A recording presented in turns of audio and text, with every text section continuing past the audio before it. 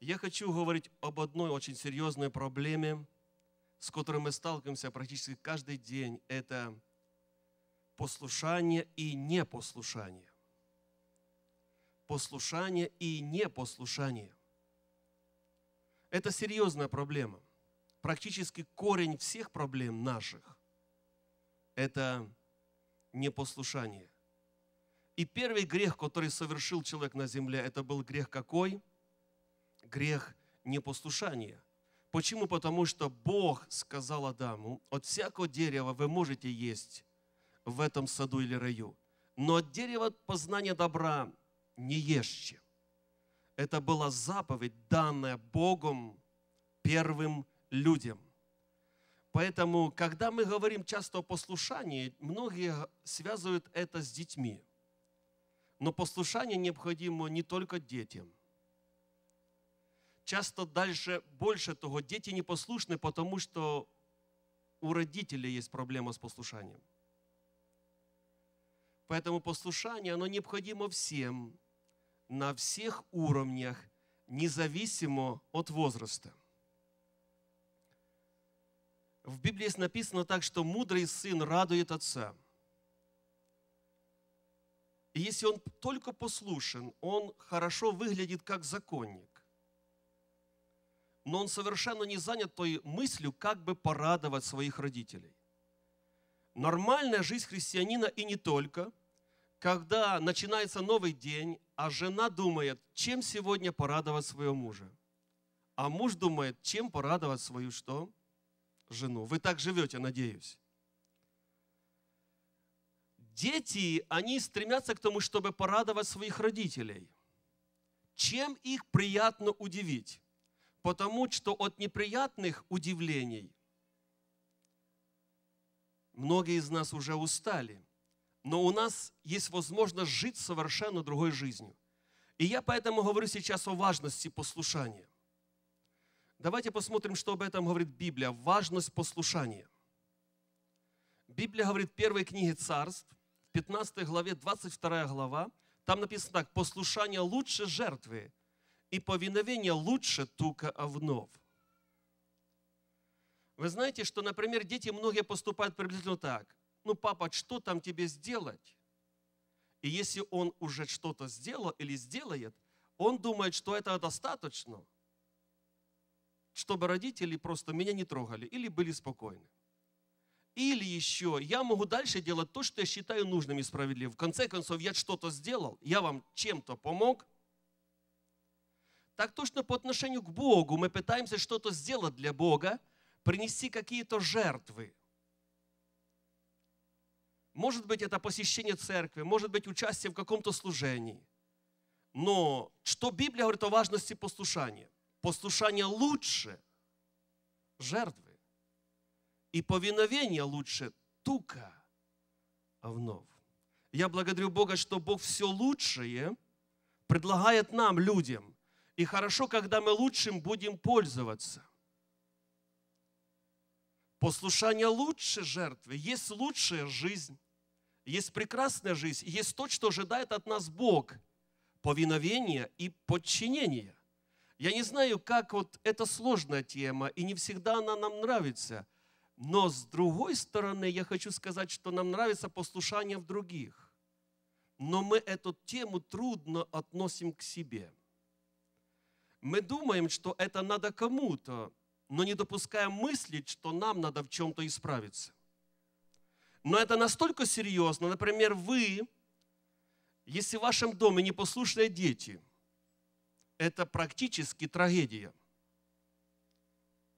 Если эти дети приходят в гости, праздник будет испорчен.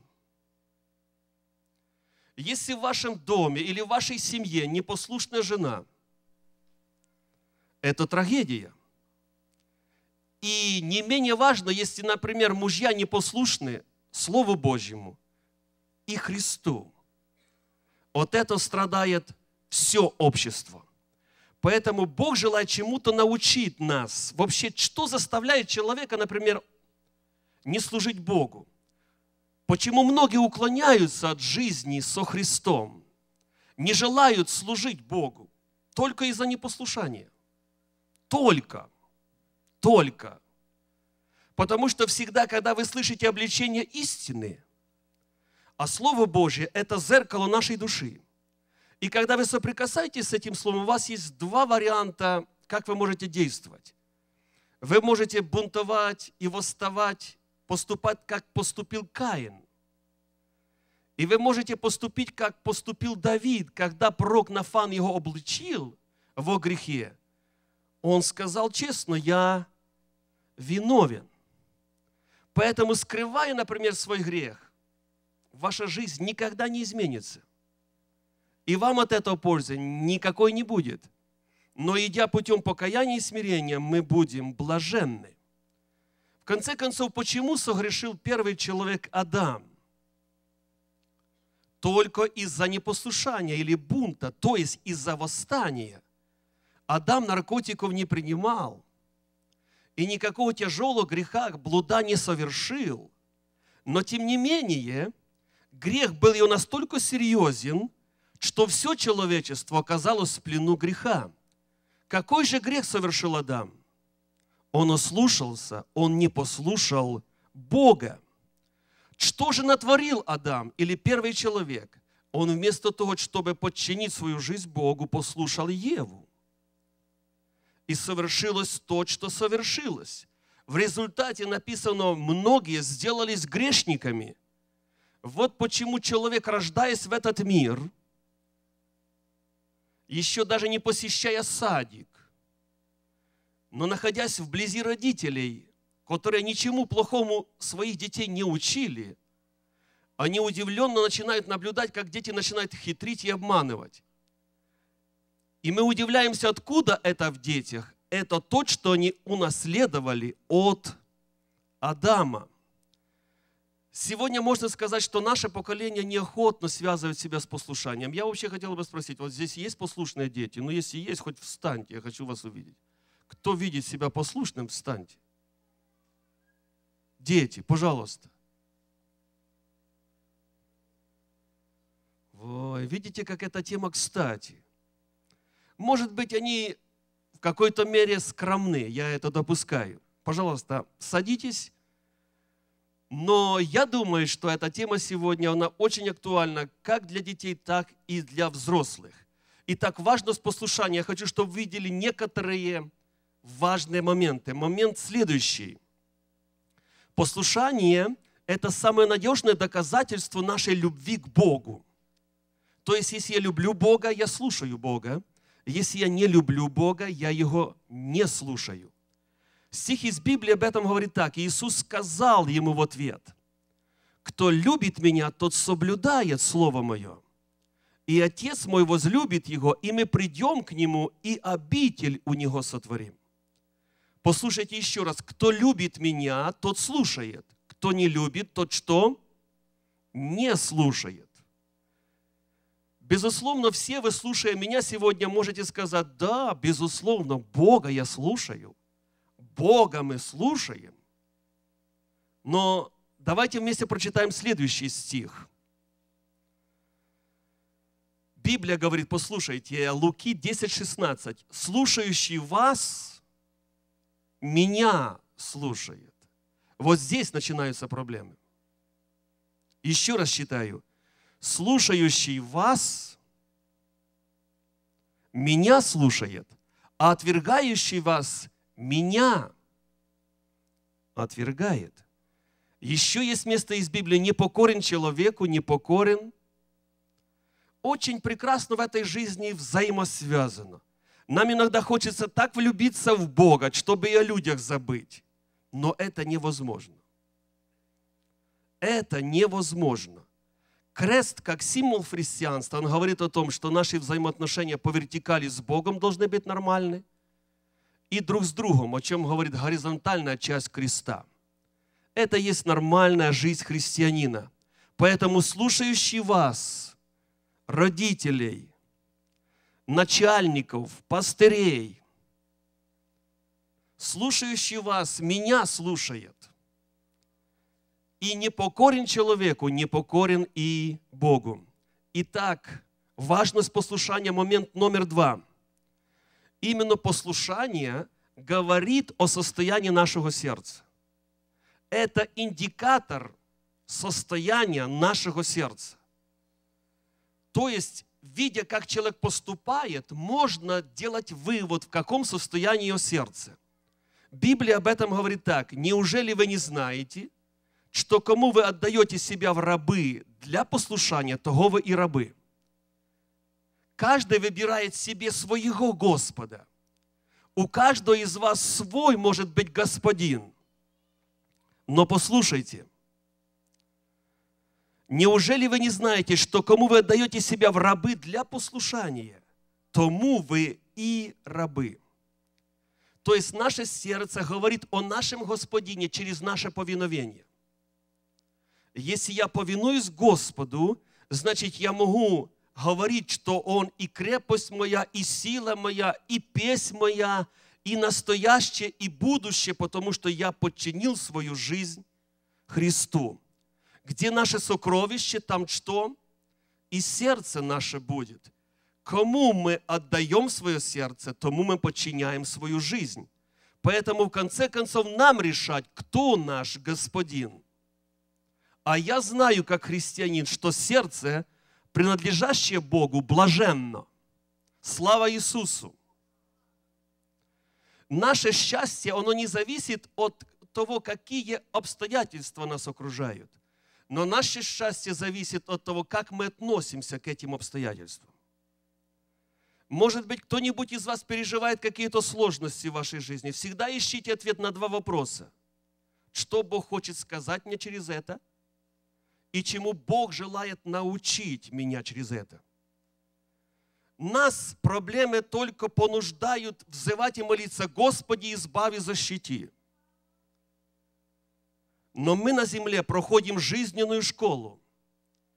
И Бог желает нас чему-то учить, в том числе и послушанию. И если мы в детстве научились слушать, эта школа продолжается для нас в будущем причем не сдал очередной экзамен, все начинается сначала. В этом боль и тревога многих сердец. Мы сами удивляемся, почему у нас много сложностей. Мы с печи в печь попадаем. С одного испытания в следующее. Только потому, что в нужное время в вашей жизни не оказалось должного плода. А Бог ожидает. Ради этого мы живем. Вы где-то не проявили терпение, к примеру, и все начинается для вас урок сначала. Вы не можете подняться на следующий уровень, вы не можете пойти в университет, не сдав определенных экзаменов.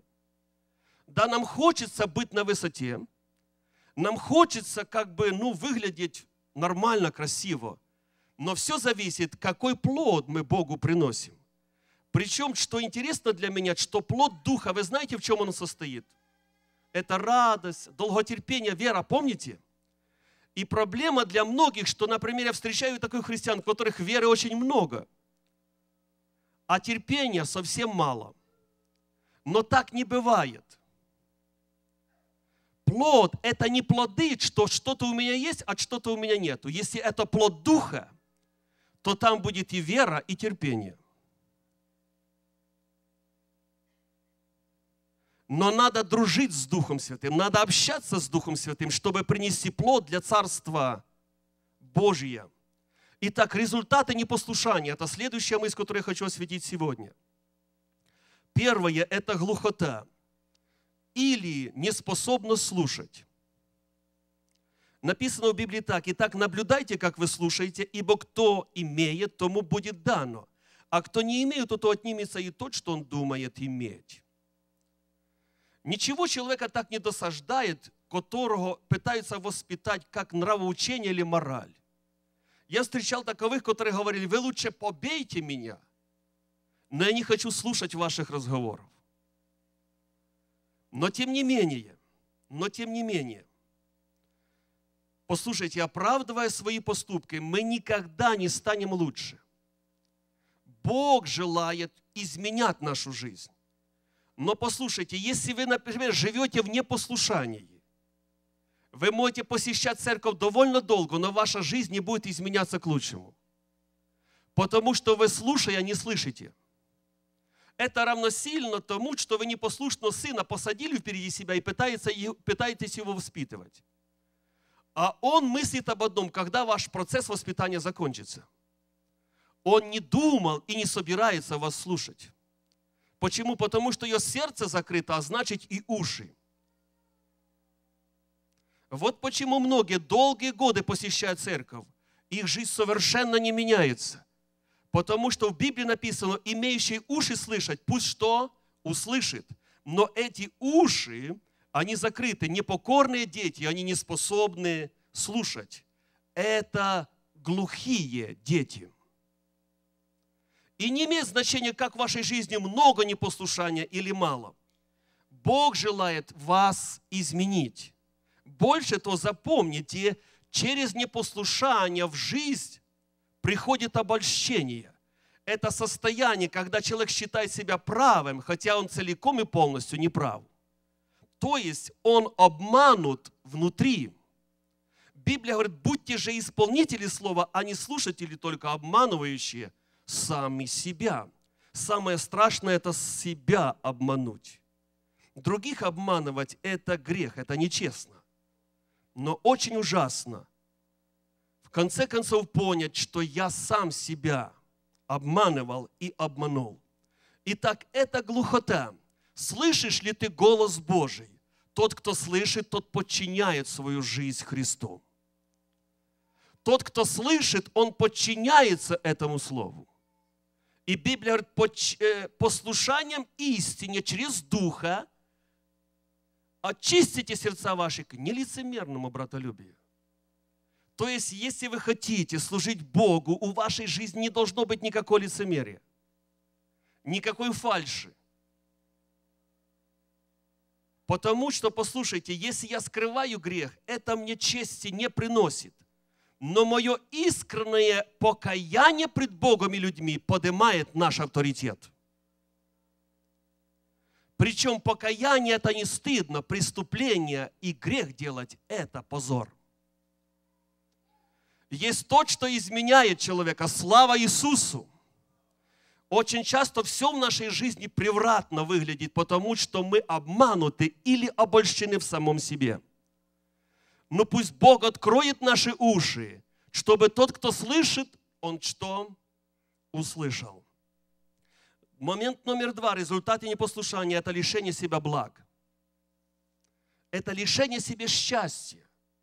Это лишение себя всяких благ. Послушайте, Библия говорит так. «Почитай отца твою и мать твою». Это первая заповедь с обетованием. «Да будет тебе благо, и будешь долголетен на земле». Послушайте, я не знаю ни одного примера, чтобы ленивый человек жил долго. Я не знаю. Я не знаю. Я такого примера не знаю. История не знает. Я не знаю, чтобы бандиты, рекетеры, преступники жили долго. Они долго не живут. Но преступники и непослушные люди, они говорят, важно, как ты прожил. Наслаждаясь малым и будучи уверенным в том, что после него будут книги писать, он войдет в историю. Но это самообман. Это самообман. Библия говорит, почитай отца твоего и мать твою. Почитать это особые отношения с особым уважением и должным вниманием – это первая заповедь с обетованием, чтобы иметь обетование Божье в жизни. Да будет тебе благо, ты будешь счастлив и будешь жить довольно долго. Истина состоит в том, послушайте, дети, которые присутствуют здесь. Родителей мы не выбираем. Родителей кто нам дал? Бог. Вот почему надо родителям быть послушными. Еще раз, какие они не есть у вас, их дал вам Бог и вы должны быть послушны вашим родителям. Часто так получается, что мы подчиняемся только тому, что совпадает с нашими пониманиями и планами. Молодежь и все остальные, я хочу, чтобы вы меня сейчас услышали. Послушайте. Если я считаю это, есть в этом необходимость, я послушаю. Если нет, я слушать не буду. Если родители говорят вам, возвращайтесь домой в такое-то время, например, в час ночи, не имеет значения, а вы игнорируете это, вы подвергаете свою жизнь серьезной опасности. Многие говорят так, а мне уже за 20, извините меня, на меня это не распространяется. Послушайте, как это распространяется. Послушайте, я хотел бы, чтобы вы услышали один стих об Иисусе Христе. Это Иоанна 13 глава 3 стих. Там написано так. Христос, зная, что Отец все отдал в руки Его, и что Он от Бога пришел и к Богу исходит. Что было дальше, кто знает? Кто знает? Хорошо, это не страшно. Продолжаю свою мысль. Христос, зная, что Отец все отдал в руки Его. Что это значит? Это выглядит приблизительно так, что Христос знал, что сам Бог ему сказал, ты являешься, например, губернатором этого штата, или ты являешься царем этого государства. Он знал, что Отец все отдал в руки его. Это уже не просто возраст, а это все. Вы поняли меня? Все. И он знает, что он к Богу, от Бога пришел и к Богу восходит. Написано, встал с вечери, взял полотенце и начал служить. Царь царей и Господь господствующих показал пример смирения и послушания для будущих поколений. Поэтому все дети, которые живут под покровом родителей, под крышей одной, они должны быть послушны своим родителям. Независимо от возраста. А если чувствуешь себя очень независимо, попробуй сам поживи. Может быть, и родители тебе понадобятся. И быстрее слушать научишься. Потому что то, что ты не научился дома, тебя жизнь будет учить. И эта школа никогда не закончится, пока ты ее не закончишь на отлично. Чем быстрее, тем лучше.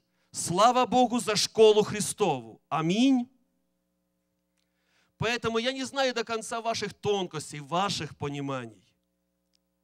Может быть, то, что родители попросили вас, оно не ввязывается в ваше понимание. Но тем не менее, запомните, что Бог всегда на стороне родителей. А чтобы привлечь Бога на свою сторону, дети должны быть какими? Послушными. Ваша жизнь будет во благе. Я сейчас не хочу называть фамилии, но живя здесь уже несколько лет, я наблюдаю, как в некоторых семьях Бог активно действует, благословляя детей только потому, что они послушны.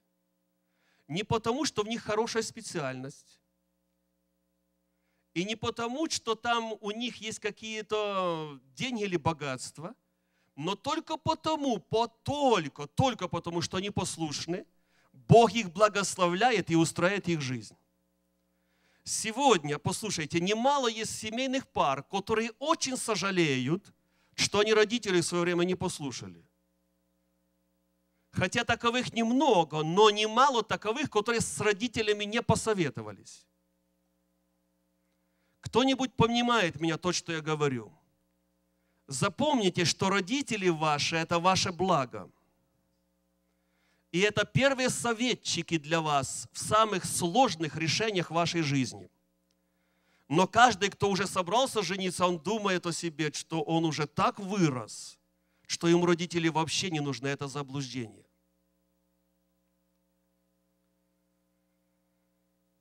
Итак, не лишайте себя благ во имя Иисуса Христа. Я хочу, чтобы в нашей церкви все дети наши были во благе во имя Иисуса. Чтобы наши семьи были благословенными и счастливыми. Следующий момент. Результаты непослушания – это открытая дверь для дьявола. Послушайте, в первую очередь, почему приходит одержимость в жизнь человека, это непослушание, потом непрощение и различные сексуальные извращения. Три момента. Кто в этом не убедился, вы можете убедиться на своем собственном примере. Но я вам это не желаю, я здесь, чтобы вас предупредить. Ваша семья, может быть, разрушается, и вы не знаете, почему это происходит. Но это часто бывает, что ваш дом открыт, или в ваш дом открыт доступ для дьявола. Библия говорит, ибо непокорность есть такой же грех, как волшебство. И противление тоже, что идолопоклонство. За то, что ты отверг Слово Господа, и отверг, я отверг тебя, чтобы ты не был царем. Это было сказано Саулу. Дорогие мои дети Божьи, я хотел бы вас спросить, чтобы ваш дом, ваша семья были закрыты в разуме и в сердце для дьявольских атак. Но проблема есть в том, что многое сегодня надо поставить на свое место. Если, например, послушайте, в вашем доме, например, нет просто чистоты или порядка, люди устают так жить. Но еще хуже, когда нет порядка во взаимоотношениях, когда дети не подчинены родителям, жена не подчинена мужу, а муж Христу. Эта жизнь превращается в хаос.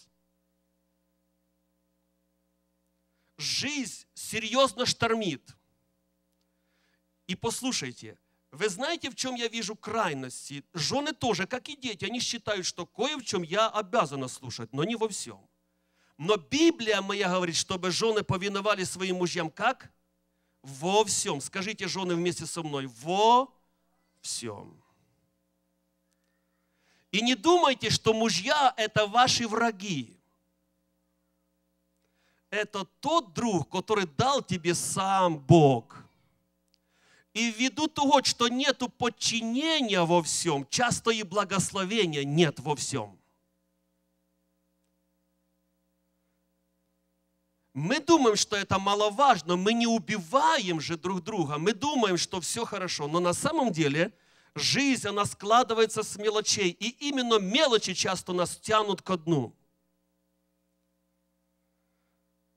Послушайте, не имейте никакой дружбы с грехом и дьяволом через непослушание.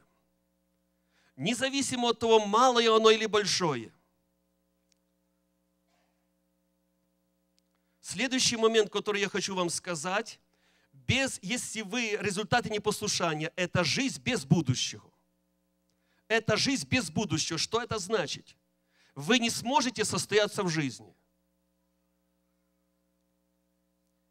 У вас не получится. Почему? Потому что без послушания вы не выполните свое предназначение. А значит, вы не сможете состояться. Что это значит? Если вы работаете на какой-то работе, и вы непослушный работник, какое ваше будущее? Вам рейс дадут? Вас в должности повысят? Нет, вас по, по телефону попросят, вы можете больше не выходить. Почему-то мы думаем, что начальника надо слушать. И то не все с этим согласны. А уже остальное, как у меня получается? Вы знаете, что сегодня трагедия в том, что многие работают на строительстве только потому, что они не желают связывать свою жизнь с дисциплиной. Это единственная работа или организация. Если ты не пришел пару дней, тебя снова примут. И если ты пришел в середине дня, тебя снова попросят. Иногда так бывает, потому что люди надо. Но там нету роста. Вы понимаете, в основном нету роста, особенно для непослушных. Ты можешь так жить, но это путь в никуда. Ты никогда не выполнишь свое предназначение. Потому что, чтобы выполнить его, надо связывать себя с дисциплиной. Надо ее полюбить, надо с нею дружить. Поэтому самое важное мерило нашей духовной жизни – это не всплеск эмоций, но это жизнь, которая связана с серьезной дисциплиной. Я часто это говорю, еще хочу повторить. Послушайте, ваши таланты и способности могут поднять вас высоко. Но только характер сможет или поможет тебе удержаться на этой высоте. Если вы не сформировались внутри, вы не сформировались как личность, вы никогда не сможете реализовать свой потенциал. Вы не сможете состояться в жизни. Поэтому начинайте дружить. Я хочу, чтобы в нашей будущей воскресной школе это был вопрос или урок номер один. Когда вы научились этой добродетели, все остальные есть надежда, что они будут привиты. Они придут. Но если этой добродетели нет, если человек не слушает с первого слова, если он не понимает, что нельзя, а что можно, он ничему не научился. Господи, помоги нам жить так, как хочешь этого Ты. Следующая мысль моя будет в том, какие благословения мы будем иметь через послушание. Я думаю, что эта мысль вам понравится, потому что все вы пришли ради благословения, потому что Бог, Он есть благословляющий Бог. Поэтому благословение, обетование Божье, они часто связаны с определенными условиями. И условие номер один – это наше послушание. Итак, благословение через послушание. Первое – это познание Бога это познание Бога. Христос пришел через жесточайшее страдание Голгофу. Никто, никто не подвергался таким пыткам и позору, отвержению, бичеванию, как Христос. Но что для меня удивительно, он никогда не сомневался в благости и в любви Бога Отца. Ни на одну минуту он не усомнился, что Отец Небесный что-то делает не так или поступает по отношению к нему неправильно или жестоко. Я еще раз повторяю, никогда. В Библии написано, хотя он и сын, однако страданиями навык приобрел к послушанию, то есть научился послушанию. И совершивший сделался для всех послушных ему виновником – вечного спасения. Кто в результате будет спасен Христом? Кто? Послушный Ему. Скажите аминь. Еще раз. И совершившись, то есть достигнув определенного духовного возраста. Это был непростой процесс, но сформировавшись внутри, совершившись, он сделал для, вся, для всех послушных для всех послушных сделался виновником вечного спасения слава Иисусу. Написано, смирил себя, был послушным даже до смерти и смерти крестной. У нашей, получается, если у меня свои планы, то планы родителей в мои планы уже не входят. Это жизнь для себя. Это жизнь в непослушание воли родителей. Не удивляйтесь, если у вашей жизни много беспорядка. Если ваша жизнь не идет по возрастающей, не удивляйтесь. Ваша жизнь будет во благе, когда вы направите свою жизнь в правильное направление и русло. Послушание, послушайте, молодежь, это не трудно и это не пытка. Это жизнь во благе. Это жизнь или путь к познанию Бога. Потому что всякое истинное познание Бога рождается послушанием. Слава Богу за эту жизнь. Следующий момент – это здоровье взаимоотношения с Богом. Это здоровье взаимоотношения с Богом и с людьми. Я говорил как-то, что послушание – это ключ, который подходит ко, ко всем дверям, к любой двери. Если вы хотите, чтобы люди открывались вам, если вы хотите, чтобы люди выходили навстречу вам, вы должны научиться послушанию.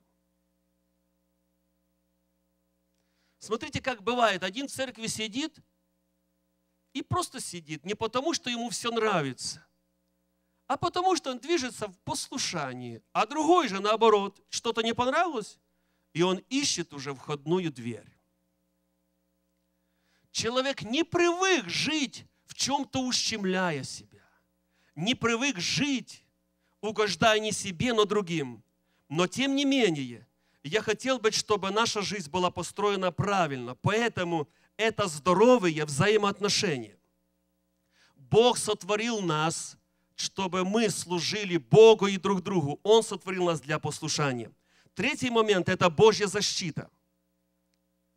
Божья защита – Послушайте, сколько не призывай защиту на свой дом, на своих детей, если вы живете в непослушании, у вас вряд ли получится. Если вы будете пытаться даже бесов изгонять, ничего не выйдет, потому что бес никакой не подчиняется непокорному человеку.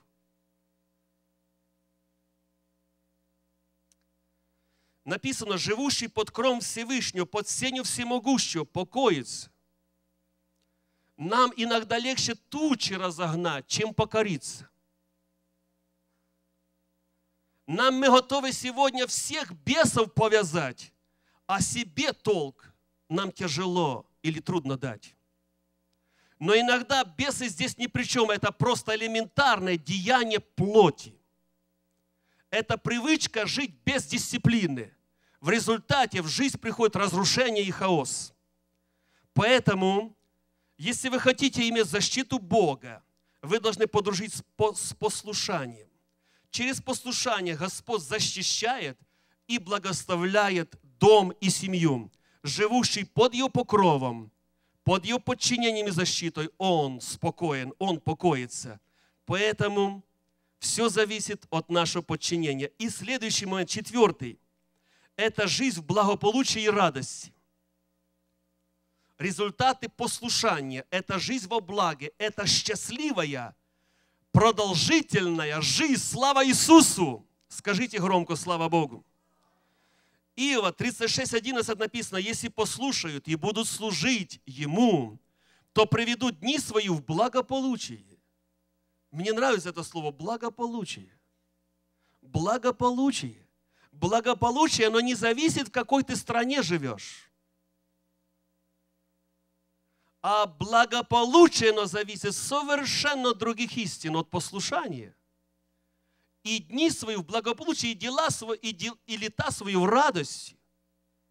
Многие пытаются радоваться, совершенно не подчиняясь никому. Или иногда, через раз. Это вид радости. Это попытка радоваться. Но истинная радость приходит отсюда, изнутри, из сердца. Слава Богу за эту радость. Итак, если вы хотите иметь эту счастливую продолжительную жизнь во благе, вы можете это иметь через послушание. И это свидетельство нашей настоящей веры. И я подвожу итог. Если вы хотите, чтобы ваша жизнь была во благе, вы должны жить, идти путем послушания. Вы будете познавать Бога через общение с Ним. Ваша жизнь будет во благе, в радости и в благополучии. Вы будете жить под защитой небес. Поэтому проверьте вашу жизнь. И если в вашей жизни присутствует непослушание, вы должны сегодня искренне сказать, Господь, прости меня. Я нуждаюсь в благополучии. Я устал так жить. Вы можете обвинять других, но в вашей жизни ничего не изменится, пока Бог, вы не разрешите Богу изменить ваше сердце. Да благословит вас Бог – чтобы воля Божья в вашей жизни исполнилась, и ваша жизнь была во благе. Во имя Иисуса я хочу, чтобы трудности в вашей жизни ушли, но они уйдут только тогда, когда вы хорошо сдадите очередные экзамены, когда вы принесете плод в нужное время. Вот это здесь мы выглядим внешне красивы. Мы вроде бы все плодовитые, в саду Господнем, не так ли? Здесь никто не раздражается, не кричит, не начинает бунтовать или что-нибудь, да? Но послушайте, плод Бог ожидает нас от, во время посещения. То есть, когда это надо. Вот, например, в нужной обстановке вы не проявили терпение, значит все у вашей жизни будет начинаться сначала. Я знаю, что это трудная школа. Но если просто учебу в воскресной школе можно оставить, то от этой школы вы никуда не денетесь. Если вы хотите состояться в жизни, Бог будет учить вас. И Христос, друзья мои, для нас пример – Посмотрите на Иисуса сегодня, на зеркало Слова Божьего. Смотрите. Вот он идет, пришли его враги Иуда, чтобы взять Христа. Вы знаете, что было потом? Он сказал, вот я, они все. смотрит, положила их всех. Скажите, кто же кого будет брать? Вообще, в конце концов, кто сильнее? Он только сказал, вот я, они все упали. При своем оружии, при своих знаниях, при своем авторитете поднялись с трудом. Он говорит, вы кого? Вы что здесь? Кого ищете? Иисуса. Он говорит, это я, и снова все. Не стало. Христос мог защитить себя, но он никогда этого не делал. Потому что он нуждался в защите от Бога. Всякий раз, когда вы пытаетесь идти путем непослушания, просто защищая себя, оправдывая себя, это путь в никуда. Христос мог пригласить легионы ангелов, чтобы ситуация в один миг изменилась, и все враги Иисуса были поставлены на колени. Но Он не сделал это. Потому что Он смирил себя до смерти и смерти крестной. А у нас сегодня говорят так вот такое выражение, ты меня уже достал. А Библия моя говорит, вы еще не до крови сражались против греха. Просто если сердце переполнено злобой, то доставать далеко не надо. И копать глубоко тоже не приходится. Малейшее что-то не по мне, и вспышка очередная гнева. Но если твой колодец – это источник живых вод, то ты будешь приносить другим благословение и жизнь во имя Иисуса. И я хочу, чтобы Дух Святой сегодня говорил к вашим сердцам, чтобы жизнь Божья проникала в наше естество, чтобы имя Бога живого было прославлено здесь во имя Иисуса. Пусть вас всех благословит Бог, потому что Он есть добрый Бог. У меня тема не закончилась, но я ее заканчиваю, чтобы посвятить определенное время молитве. Просто поговорите с Богом. Если вы что-то услышали для себя, скажите сегодня, Господь, я слышу. Ты исцеляешь мои уши. Моя жизнь изменится. Я буду идти путем тем, который шел когда-то в свое время Христос. Если вы нуждаетесь сегодня в покаянии, если вы не дружите с послушанием, я приглашаю вас, независимо от возраста, пройти вперед. Сделайте несколько шагов веры и скажите, Господь, помилуй меня. Я думал, что это не так важно – Послушайте, но у Бога нету маловажных вещей. Слава Иисусу! Вы дороги в очах Божьих. Аллилуйя! Мне сегодня перед собранием один брат сказал, смотрите, говорит, Моисей идет с женой своей возлюбленной, а Бог вмешался в их ситуацию и желал погубить, умертвить их сына. Родители идут, а здесь сложная атака на их любимое дитя, чада. Когда это происходит, послушайте, я говорил, что счастье наше не зависит от того, какие обстоятельства окружают, но как мы относимся к ним. И вот жена начинает соображать. Моисей еще не понял ситуации до конца. А жена поняла, что они что-то не сделали, и она начинает действовать. Там написано, ну, она предприняла какие-то действия, она обрезала своего сына. И ангел Божий отступил. Почему это случилось? Почему ангел хотел? Какое же они преступление сделали такое большое? Они не послушались. Они не послушались. Моисей-то знал, что это надо сделать. Ну, ну жалко, свой. Чужих там, ну пусть чуть-чуть там. Сделать им больно, а своего жалко. Ну и мама, наверное, поддержала. Потом Моисей как бы забыл, хотя я думаю, что именно он научил этому свою жену. Но когда приходит испытание в нашу жизнь и стресс, когда Бог говорит к нам через жизненные обстоятельства, мы начинаем что-то вспоминать. Послушайте, если в вашей жизни есть какие-то материальные потери, это часто, очень часто, это результат просто непослушания. Я мог бы этот перечень продолжать, но послушайте, кто послужен Богу, тот любит Бога. А тот, кто любит Бога, тот послушен Его Слову. И нарушить это Слово, для него это огромное преступление, и он на эту трупу никогда не станет. Для того, кто любит Бога, для него нет вещей здесь важных и маловажных. Он Слово принимает целиком и полностью как послание небес. И проповедь он не воспринимает как очередного проповедника, но принимает Слово не как человеческое, но как Слово Божье. Мы начинаем новую страницу в нашей жизни, мы начинаем новый учебный год для наших детей. Как бы я хотел, чтобы с помощью родителей, церкви и Бога наши дети были послушными детьми, и они послужили добрым примером для окружающих нас. Для окружающих нас во имя Иисуса. Родители, вы это хотите? Дети, а вы это хотите? Дети, вы здесь? Вы желаете быть послушными? Вообще вам это нравится? Мне тоже. Слава Богу, мы действуем в одном духе. Давайте же мы благословим Бога.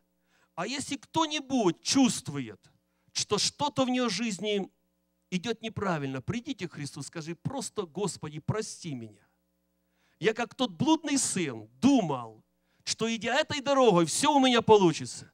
Но я прихожу к банкротству. Боже, помилуй меня во имя Иисуса.